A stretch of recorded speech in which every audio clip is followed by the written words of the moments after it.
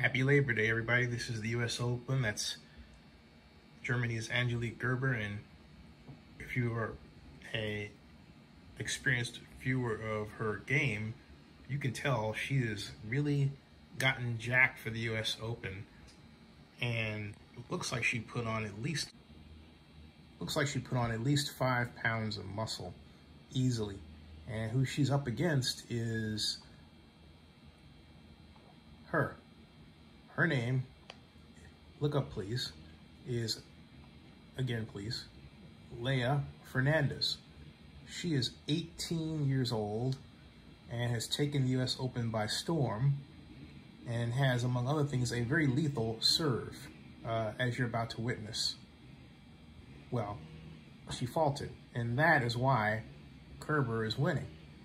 Right now, 6-4 first set, but they're tied one all second set to open the second set, but Kerber's up, was up 15 love. Now she'll go up 30 love after that one. Not saying that's how this is going to finish, but Kerber at 33 years old is up against a youthful, spry, and surprisingly strong 18-year-older.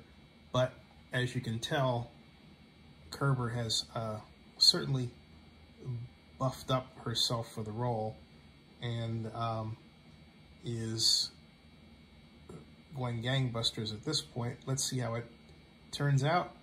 I would be surprised if Kerber let her off the hook and lost, um, especially with those arms. She's really been working it. Legs, too. Subscribe to Zennie62 and bookmark oaklandnewsnow.com.